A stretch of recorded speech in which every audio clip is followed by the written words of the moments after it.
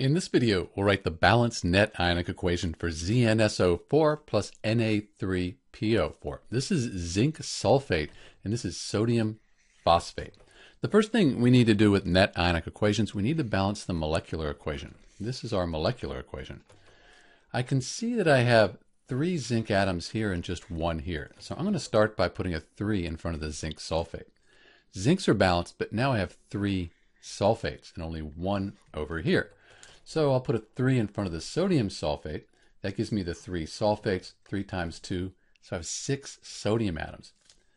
If I put a 2 here, 2 times 3, that's 6 sodium atoms. They're balanced, but now I have 2 phosphate ions. That's okay, I have 2 here. So this is the balanced molecular equation. Next, we need to write the states for each substance. So sulfates in general are soluble, so this is going to be a soluble compound, AQ. It'll dissolve, split apart into its ions. Phosphates are not in general soluble except for things like sodium phosphate and other group 1 elements like potassium phosphate. So this is going to be soluble, but in general you'll see the phosphates aren't soluble. Like zinc phosphate here. Zinc phosphate is not soluble. So these two substances react, we get this insoluble compound. It's going to be a solid, which means it'll fall to the bottom of the test tube as a precipitate. So we have a precipitate forming here in this reaction.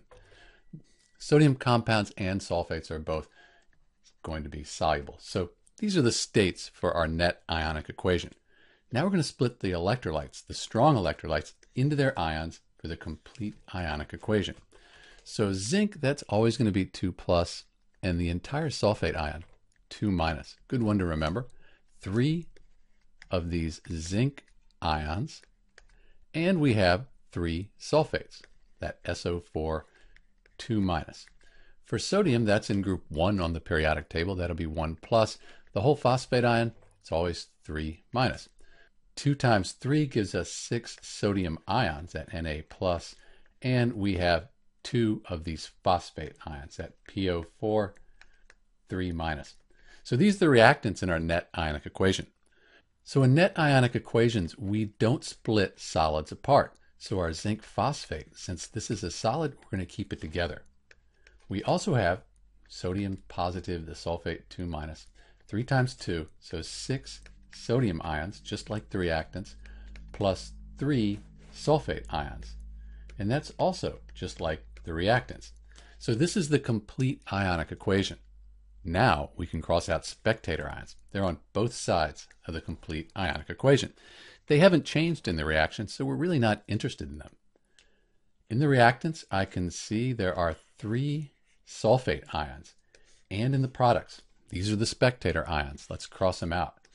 Six sodium ions here in the reactants and in the products. Spectator ions. Cross them out. What's left? That's the net ionic equation for zinc sulfate plus sodium phosphate. I'll clean it up, write the states, we'll have our net ionic equation.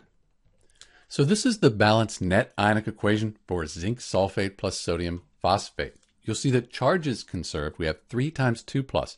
That's 6 plus. 2 times 3 minus. That's 6 minus. Add them up. You have a net charge of 0 here. This zinc phosphate, it's a neutral compound, net charge of 0. So we've balanced charge, and if you count the atoms up, they're balanced as well. This is Dr. B with the balanced net ionic equation for ZnSO4 plus Na3PO4. Thanks for watching.